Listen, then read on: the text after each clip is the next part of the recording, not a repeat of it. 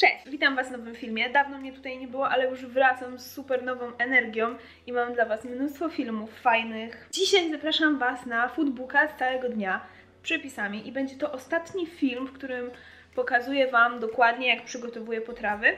Mam już nagrany film, w którym pokazuję Wam po prostu co jem w ciągu dnia i takie bardziej pogadankowe, jak mi smakuje, e, jakieś ciekawości jedzeniowe, ale takich stricte z całego gotowania y, zapętlonych z voiceoverem już nie będzie u mnie na kanale, bo chcę po prostu, żeby to było takie bardziej luźne vlogowe. Jeśli się przeprowadzimy za jakiś czas, to wtedy też na pewno będę miała ładniejsze kadry i będę siebie pokazywać, a nie tylko mm, mówić, co robię.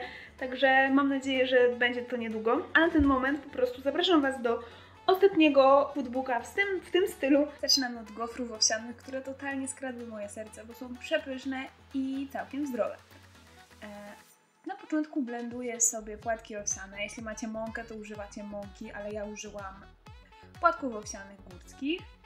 Mieszam je sobie z proszkiem do pieczenia. Możecie to pominąć tak naprawdę.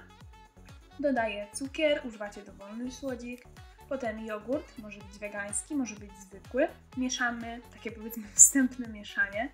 Wbijam jajo, to też da się pominąć. Możecie użyć na przykład banana albo y, masła orzechowego. Przeczytajcie sobie więcej o zamiennikach. Dodaję kakao.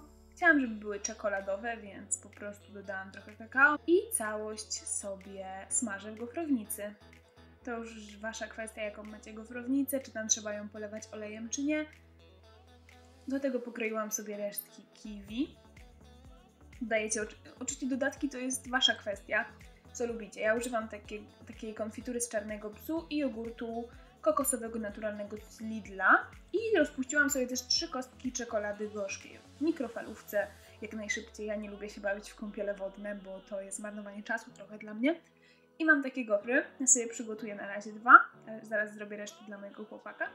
Tutaj daję sobie ten jogurt, naprawdę dodatki dowolne. Możecie sobie zrobić bitą śmietanę, możecie użyć na przykład nutelli z daktyli, co chcecie. Ja na jeden dałam jogurt, na drugi dałam konfiturę i dołożyłam też trochę y, kiwi i rozpuszczonej gorzkiej czekolady. Całość możecie naprawdę udekorować dowolnymi rzeczami. Możecie pokruszyć czekoladę, dodać orzechy, słonecznik, wiórki kokosowe no po prostu to jest totalnie to, co macie w domu najlepiej. Wykorzystajcie z lodówki, z szafek, masło orzechowe, naprawdę jest multum e, pomysłów. Ja użyłam tego i tak to wygląda, według mnie prezentuje się super i było super smaczne. Teraz mój obiadowy hit, czyli lasagna z batata i szpinaku.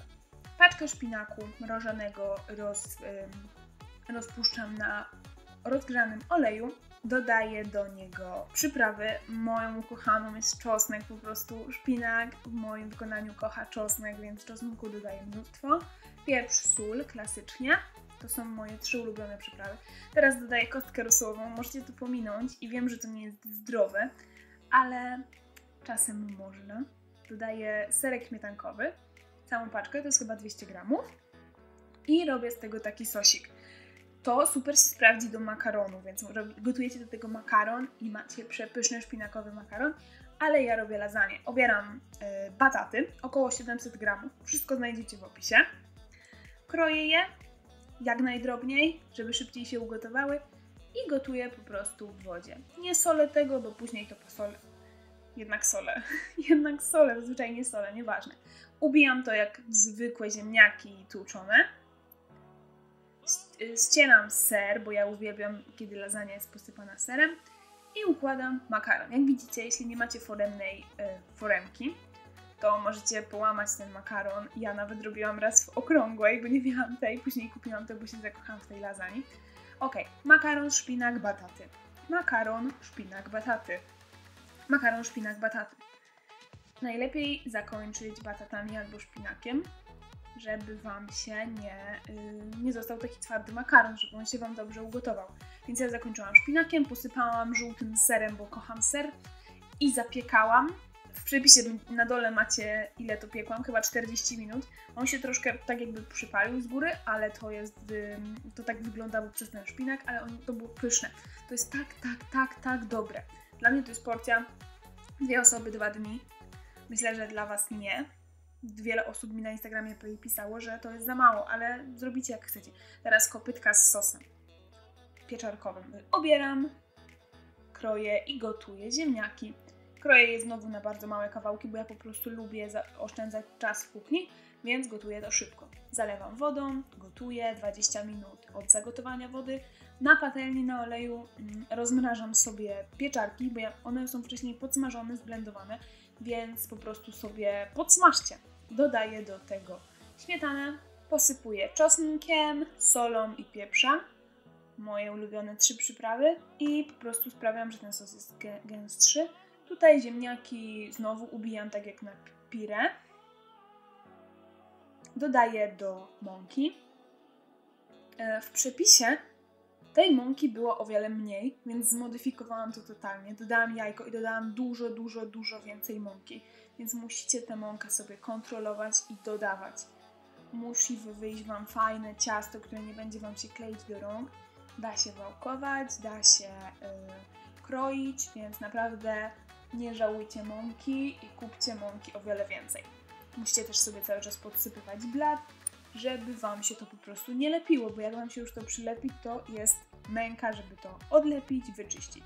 Robię sobie rulony i kroję na kawałki. Na początku chciałam się bawić w jakieś wzorki widelcem, ale nie. Potem to zagotowałam, gotowałam do wypłynięcia i podałam z sosem. I tak wygląda całość. Właściwie nie wygląda, ale jest przepyszne. Mam te kopytka, sos pomidor, yy, pieczarkowy troszkę sera, bo ja do, wszystko daj, do wszystkiego daję sera. Więc idziemy zajadać. I to tyle. Mam nadzieję, że film Wam się podobał, że coś spróbujecie. Ta lasagna jest niesamowita, już nie mogę się doczekać, aż zrobię ją ponownie. Yy, te gofry też sztos.